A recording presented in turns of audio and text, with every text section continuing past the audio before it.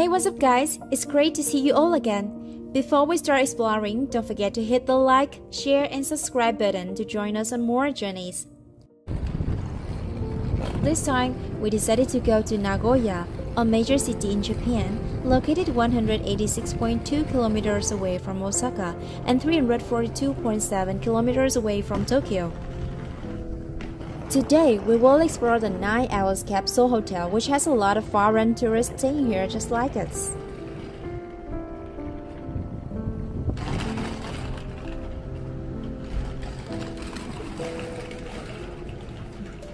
As we enter the hotel, there's a check-in counter, a cafe counter, and tables and chairs where guests can enjoy coffee.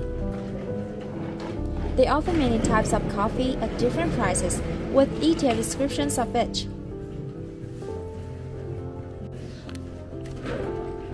Have my reservation code and I'm just waiting for my turn to check in. The check-in time here is 2 p.m. and the checkout time is 10 a.m.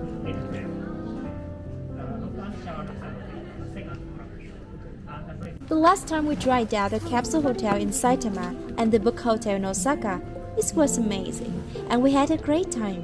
You can watch the videos in the description below. We really enjoyed it, and now we want to experience something like that again in different place. When staying here, guests are not allowed to eat, drink, or talk on the phone in the room. And most importantly, they cannot bring pets. The building had 10 floors, with separate rooms, lockers, and bathrooms for men and women. There are two private elevators, and we will use QR code to access them.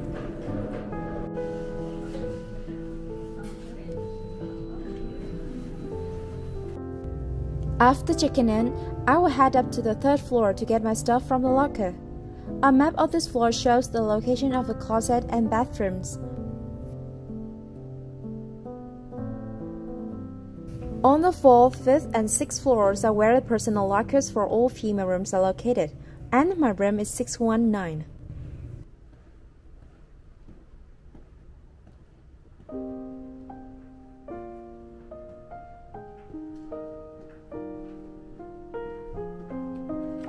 I will use the QR code to unlock it.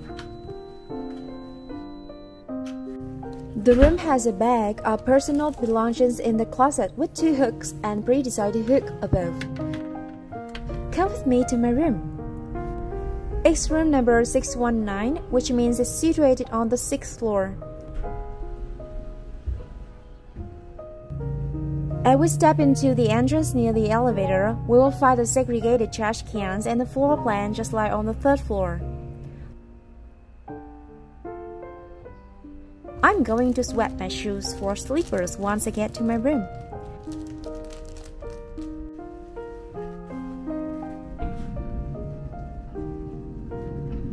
Wow. Impressive.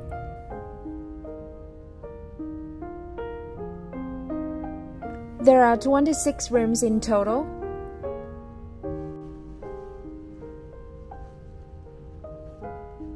Ah, here it is.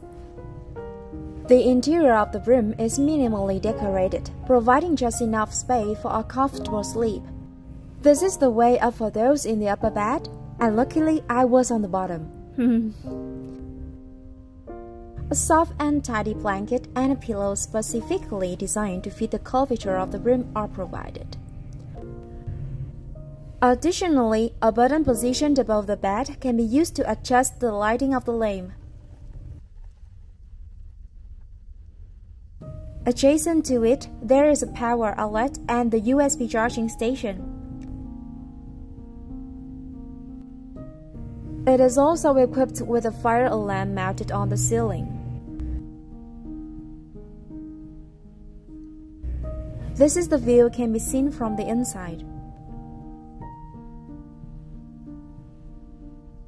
The entrance to the room has a curtain that serves as the door, which you can use when you need your own space.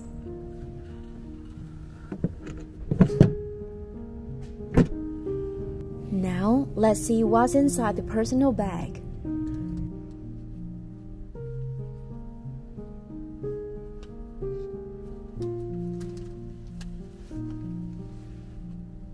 Towel, smaller towel, and another towel. So total we have three towels.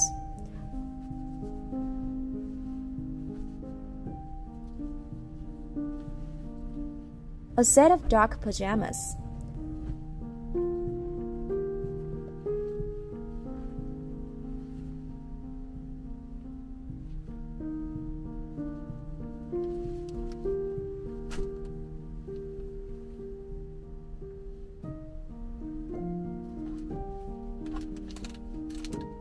And finally, a set of mini toothbrushes and toothpaste. I'm now heading up to the 10th floor, the top floor, and it's a common area.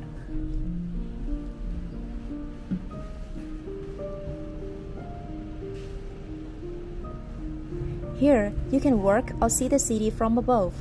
It's a perfect spot for a great view.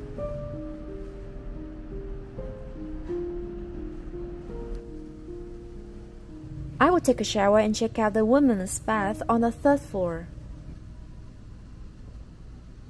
There are around 8 wash basins in this area, with hand sanitizer and paper towels. To the right, there are approximately 8 bathrooms. The inside of the bathroom is quite spacious and is divided into two compartments. The outer area is used for storage while the inner area is for bathing.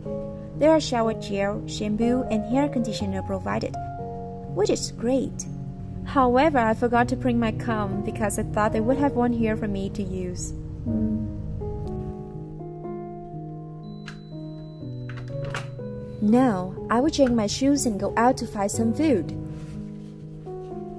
The hotel is located near some great restaurants.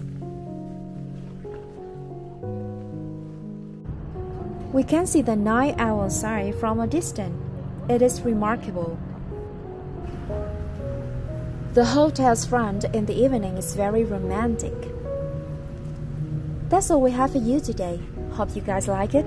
Please like and subscribe to our channel if you find our content good. Thank you for watching our video. On to the next one!